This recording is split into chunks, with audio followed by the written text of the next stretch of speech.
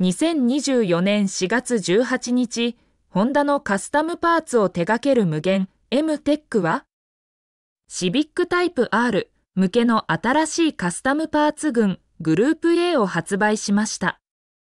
現行のシビックタイプ R は2022年7月に発表された11代目シビックの高性能バージョンです。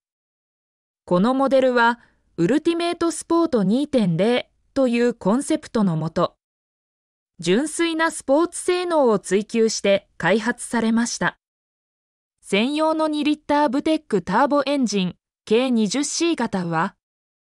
330PS の最高出力と 420Nm の最大トルクを発生し、6速 MT と組み合わされています。エアロダイナミクスを考慮したワイドなフェンダー、専用サスペンション、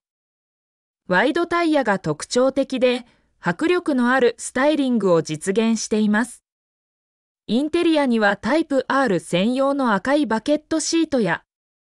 アルミ削り出しのシフトノブが採用されており、レース感あふれる雰囲気を持っています。無限が今回開発したグループ A は、エクストリーム R をコンセプトに、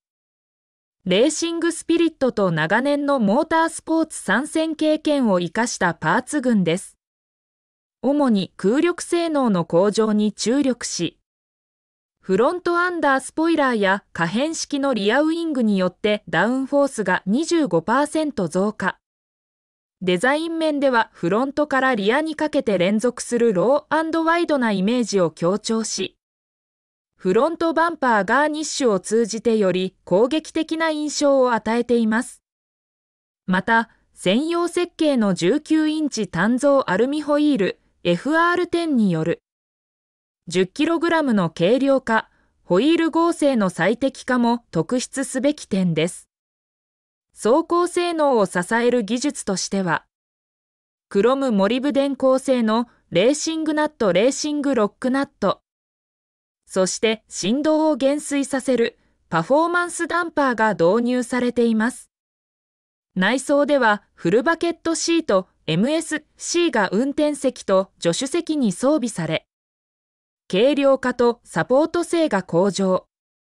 また、カーボンセンターコンソールパネル、アルカンターラシ太ノブが、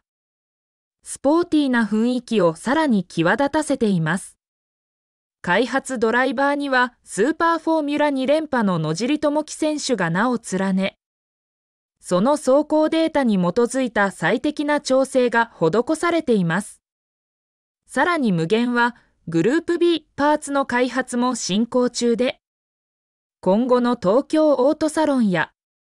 大阪オートメッセでの展示が予定されており、期待が高まっています。